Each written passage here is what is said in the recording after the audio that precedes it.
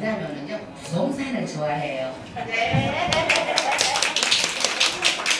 아니 하나씩 발표 좀 하시 더. 더. 아이고 됐어요. 어? 아니 아자. 너. 아유, 아니 실수해서 발표하시는 거 좀 하셔. 돈 이렇게 서로 경보 겨루지 마셔야지.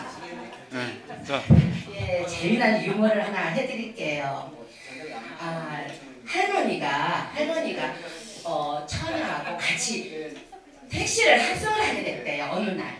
그런데 이, 학- 이 처녀아이가 여- 남자친구하고 같이 맛있는 음식을 먹고 오다가 어, 진짜 감기가 너무 끼고 싶어서 그 좁은 공간에서 참 어떻게 할 수가 없잖아요. 그래서 얘가 생각해낸 게 어떻게 할까 하다가 유리창에다가 자기 손바닥 손가락에 침을 싹 문질러가지고 묻어가지고 그 유리에다가 삐걱 삐걱 삐걱 소리 나면서 방귀를 조금 조금 조금 낀 거예요. 그래서 소리는 난 이것 때문에 모르잖아요. 그런데 이 할머니가 좀 가만히 계시면 좋은데 옆에서 아가씨를 쿡 찌르면서 아유 이봐요 처녀 소리나 그렇다 치고 아, 이 냄새를 어쩔게요 이랬대요 박수 한번 쳐주세요 예.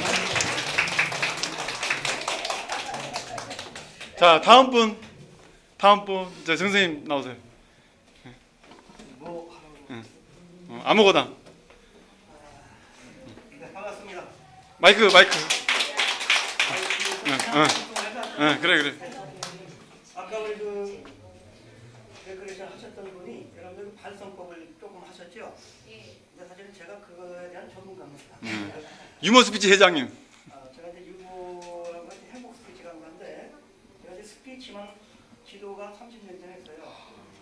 여기 계신 분들도 저한테 조금 좀 봐주셨던 분이고 스피치를 할때 제일 중요한 게 발음 관계인데 아까 이제 그 웃음 발성법에서도 이 난발음이라고 그래요. 이제 다른 말은 재미있는 발성법이라고 그래요. 특히 이제 조견이 음성이 굉장히 미성 있고 아주 그 뭐랄까 좀 남들한테 분위기 잡을 그런 음성이죠.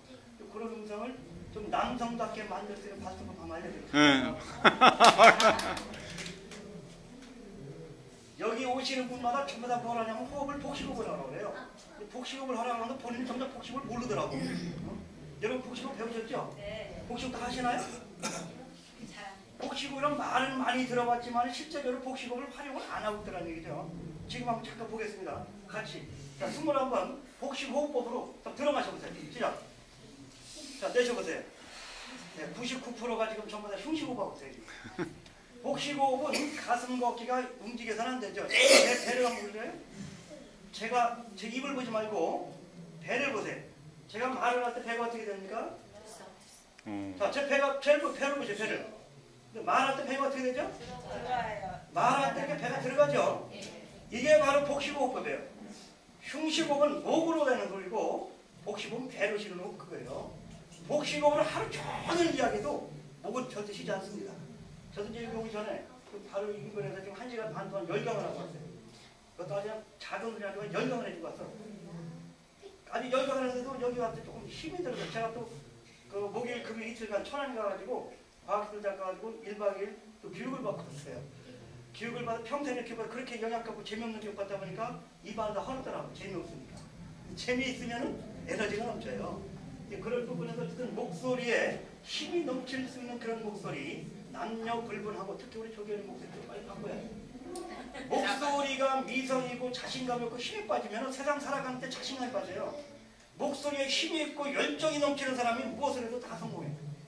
그것이 가장 기본이기 때문에 자 지금 숨을 들어 마시면은 배가 나와야 돼요. 복식호흡의 기본은 숨을 들어 마시면 배가 나오는 것, 내쉬면 배가 들어가는 거예요. 이때 가장 기본적으로 쉽게 생각할 수 있는 이 고무풍선의 원리라 생각하시면 돼요. 고무풍선, 다시 말해서 풍선을 바람을 불면 어떻게 되죠?